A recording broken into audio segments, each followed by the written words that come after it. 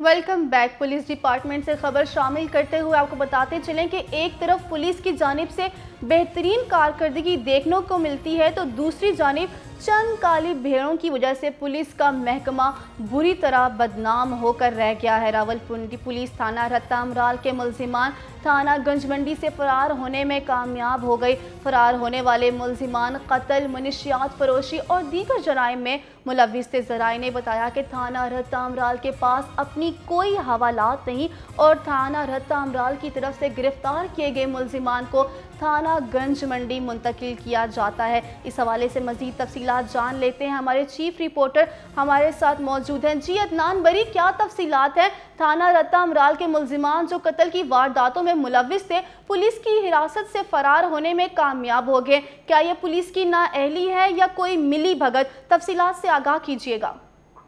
جی کلسوم آپ نے بڑا اچھا سوال کیا کہ پولیس کی نااہلی ہے یا پولیس نے جان بوجھ کے ایسے اقدام کیا؟ بات تو سامنے نظر آ رہی ہے کہ تھانہ گنج منڈی ایک پورا جو ہے وہ اس وقت کلا بنا ہوا ہے۔ کلے کے اندر سے ملزمان کیسے فرار ہو سکتے ہیں؟ تھانہ رتا امرال کے علاقے میں قتل، ڈکیتیوں کی وارداتوں میں یہ دونوں ملزمان ظہور احمد اور شفیع اللہ گرفتار تھے۔ اس حوالے سے کے ٹو ٹی وی پہ ایک ہفتہ پہلے خبر بھی چل چکی ہے، جس کی وجہ سے کافی پولیس کی طرف سے تھریٹ بھی ملے۔ اس کے ساتھ ساتھ ستائیس تین دو ہزار ستارہ کو ڈوک منٹال میں اسکول جاتے ہوئے ایک نازیہ نامی، نازیہ کریم اور زوجہ شاہ نواز کو گلی نمبر پندرہ میں انہی ڈکیتوں نے، انہی چوروں نے سریام گولی مار کے صبح کے ٹائم پہ قتل کر دیا تھا۔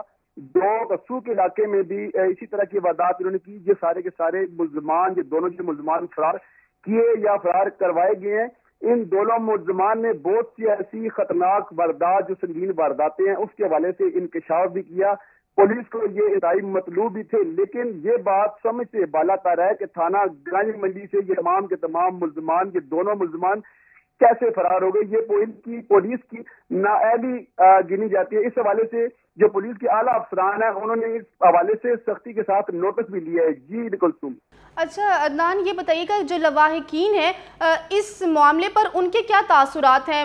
کوئی اتنی پیش رفت بھی نہیں ہوئی تو ان کا اس معاملے پر کیا کہنا ہے؟ وہ کیا کہہ رہے ہیں اس بارے میں؟ جی کلسوم آپ نے ایک دفعہ پھر ایک بہت اچھی بات کی کہ لوائقین کی بات کی۔ لوائقین کی بیٹی ان کی آنکھوں کے سامنے دنیا سے چلی گئی۔ تو لوائسین بیچارے ایک دفعہ پکڑے گئے، جب دوبارہ پولیس کی حراست سے فرار ہو گئے تو ان کے لیے ایک اور خطرہ بن گیا۔ لوائسین شان ہے۔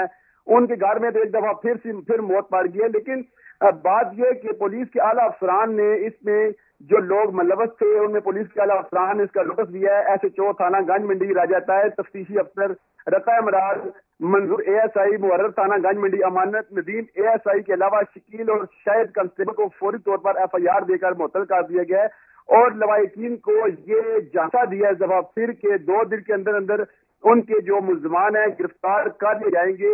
اس حوالے سے جو علاقائی سطح پہ جن لوگوں کے اندر ایک بڑا مختلف سی کیفیت پائی جاتی ہے، وہ بہت شدید ہے۔